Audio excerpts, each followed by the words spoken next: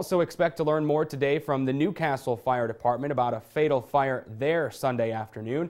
A state fire marshal is investigating after firefighters found a body inside a burning home on East Wabash Avenue in the Mahoningtown section of New Castle.